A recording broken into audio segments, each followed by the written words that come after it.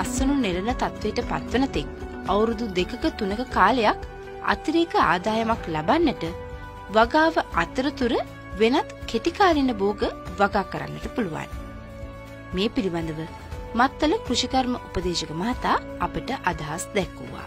අභවගාව ස්තීර බෝගයක් නිසා අපිට අර අමතර වියදමක් දැරීමකින් තොරව මේ සඳහා අර සාමාන්‍ය ගොයි මහත්තයා දැන් ස්තීර බෝගයක් කනකට ඒක අපි අස්සන්න ගන්න ලොකු කාලයක් යනවා.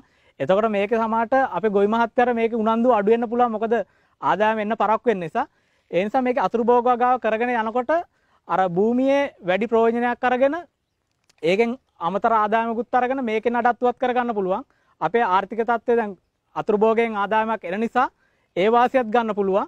ඊට මේක දැන් මේ හැමදාම මේකේ මේ ගොවි මහත්තයා වගාවක් කරගෙන යනවා. මොකද එක වගාවක් අතුරු භෝග වගාවක් ඉවරනකොට තව වගාවකට යොමු වෙනවා. ඒකෙන් මේ අවුරුදු හතර පුරාම හොඳ ශේෂ්ත්‍රයේ මේ භෝගයක් වගා කරන නිසා අඹගවලට හොඳ පොහොරයේදීමක් අර අමතර පොහොරයේදීමකුත් අපේ මේ වගාට යොදන අතරම අර වගාට යොදන පොහොරවලුත් හොඳ භෝගයක් මේක හොඳ හොඳ අඹ වගාවක් අපිට ලබා ගන්න පුළුවන්.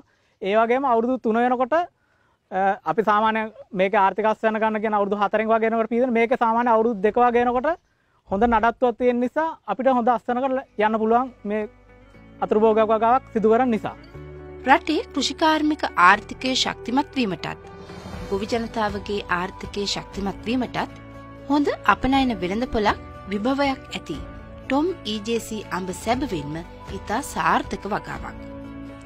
ඉතින් මෙම පළතුරු භෝගය පිළිබඳව යම් තොරතුරක් ඔබට අවශ්‍ය නම් අධ්‍යක්ෂ පළතුරු භෝග පර්යේෂණ හා සංවර්ධන ආයතනය කනන්විල හොරණ යන ලිපිනෙන් විමසීමක්